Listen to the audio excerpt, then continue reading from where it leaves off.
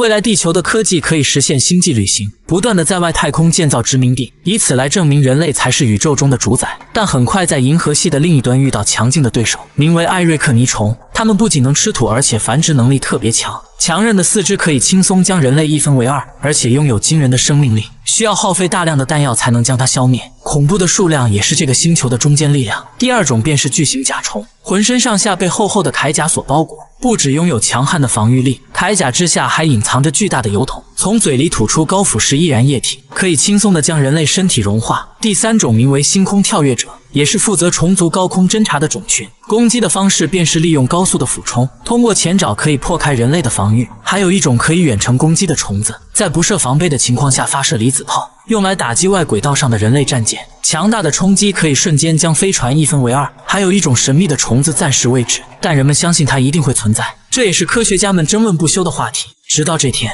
虫族大军开始向地球投掷陨石攻击，虽然大部分被防御系统拦截，可还是导致太空基地遭到严重破坏，地面更是受损严重，短时间内一个城市被摧毁。这次事件直接导致数百万人流离失所。联邦委员紧急召开会议，同意正式向虫族发起反攻，在幸存的市民中征召了百万新兵。年轻的强尼与艾丽也在其中。二人从小青梅竹马，两小无猜。艾丽凭借优异的成绩当上了星舰驾驶员，这也是她多年以来奋斗的目标。在昔日的学长带领下，很快掌握了星际战舰的驾驶技巧。而强尼只能报名前线的机动部队，每日接受着高强度的战斗训练。与艾丽之间只能凭借互发信件联系。随着时间的推移，艾丽发现二人的理想有着天差地别，不得已只能选择与强尼分手。这些话语让强尼心如死灰，整日心不在焉地投入到训练中，结果还是由于意外导致一名队友失去生命，这让强尼自责不已，决定返回家乡。结果这时传来虫族袭击地球的消息，电浆虫推动陨石再次砸向地球，直接导致八十多万人类丧生，强尼的父母也在其中。重燃斗志的强尼找到教官，希望可以重回机动部队。教官也是明白强尼是不可多得的人才，便默许了他的请求。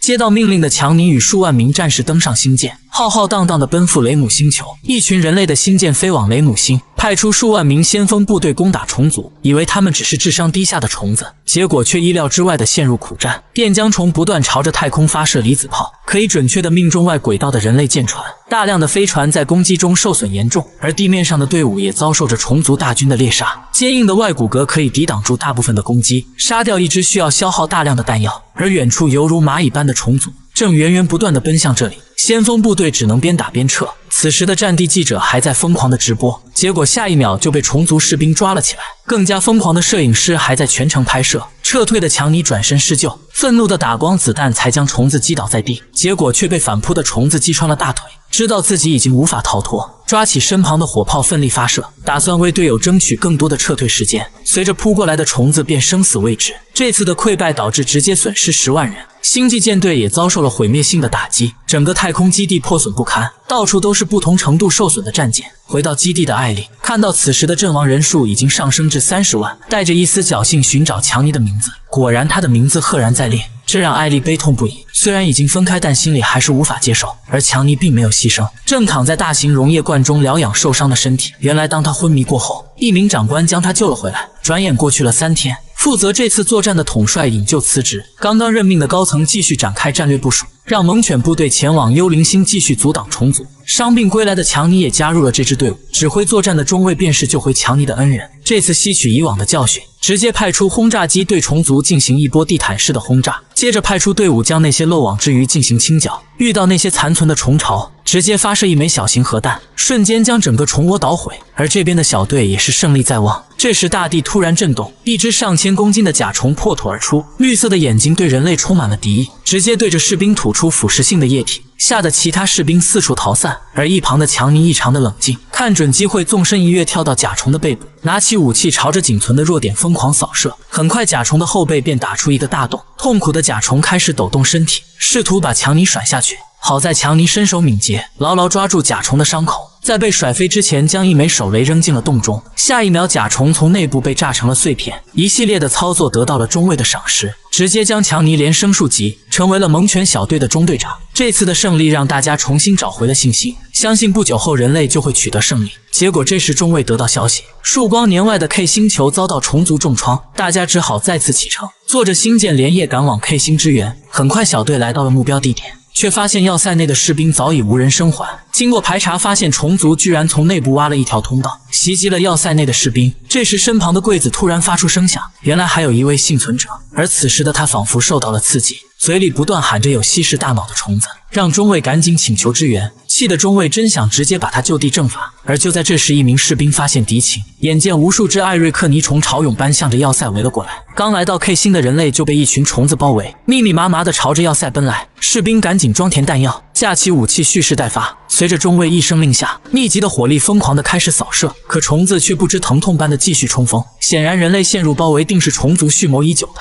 持续的输出丝毫没有减缓他们冲锋的步伐。转眼之间，虫族便来到了要塞下面，张开大嘴拆卸要塞的钢架。而远处更是出现了罕见的飞虫，利用俯冲配合前额，轻松破开人类的防御。很快，输出的节奏赶不上虫子进攻的速度，零星的虫子已经登上了城墙，而远处潮涌般的虫子让中尉的心顿时凉了半截。剩下的士兵只能一边抵挡一边撤向要塞内部，一味的消耗队友之间很快出现弹药不足，用不了多久，他们都将成为虫子的食物。就在这时，一艘运输机出现在半空，在大家的掩护下缓缓降落。幸存的士兵赶紧展开撤离行动，而这时脚下的大地突然震动，躲闪不及的士兵陷了进去。原来虫族的甲壳虫又出现了。一旁的瑞斯见状，拔掉手雷的撞针，看准机会，直接将手雷扔进虫子的嘴巴里，瞬间将甲虫炸得粉碎。正当瑞斯为自己的战果感到高兴时，一只虫子突然从身后冒出。强尼的提醒还是太迟了，没反应过来的瑞斯直接被利爪贯穿了身体。虽然众人合力还是将他救回，可还是改变不了瑞斯牺牲的结果。在为他举行太空葬礼过后，强尼遇到了当初的校友卡尔。原来高层早已知道这是虫族的陷阱，但还是派机动部队去送死，目的就是要引出虫族的首脑，只有这样才能完全消灭虫族。接下来任命强尼为中尉，让他带领猛犬小队寻找脑虫的位置。很快，他们再次回到了 K 星球，